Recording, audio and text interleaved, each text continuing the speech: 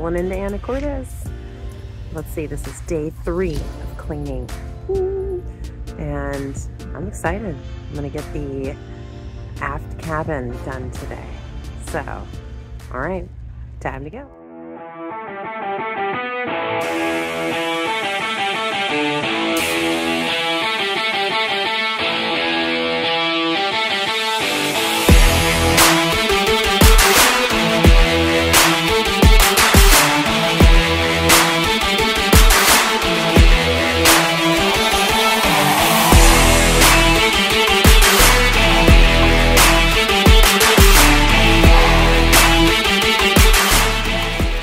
All right, I'm back in Moby, and today is, I think, March 11th, I think, yes.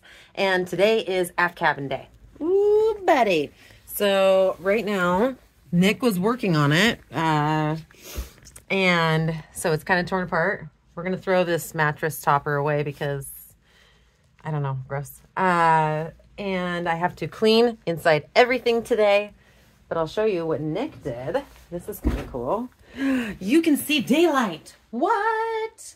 But uh, yeah, that was an unneeded through hole. And so he's going to fill it and fiberglass it and it will be no more. We don't like unused holes in the bottom of the boat. That's no good. So uh, yeah, I'm going to, as you can see, there's lots of goodies underneath where the carpet normally is, hiding everything. Um, yeah, so here's my trusty sidekick. I love that shop vac. I'm going to get to it. Here we go.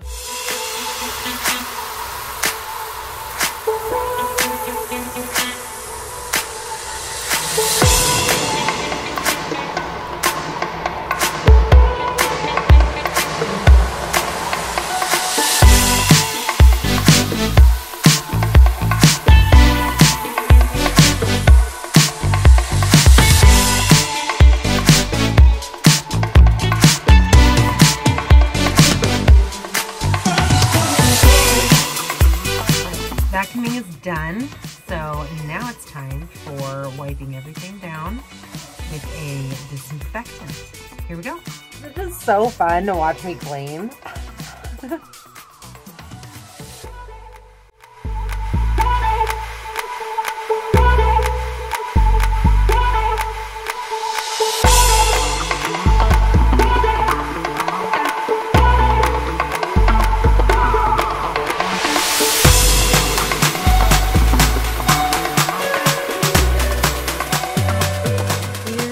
final product. There we go. You can see oh, so clean. I mean, it looks pretty much the same on the video, but man, it is night and day difference when you look up close. And Nick's still working in here, obviously. There's the outside. There's the ground. I can see the blue tarp. That's cool. Uh, so yeah, I didn't put that back together. But now he can stay in here so nice. I'm so excited. I have to get some sheets for this retro bed. We're gonna rock it, you know? I mean, why not? It's very cool. So nice and clean, vacuum the steps. They look so much better, even just a vacuum.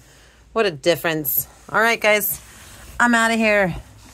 Till next time, Moby. Here comes the ferry. Yep. Time to go home.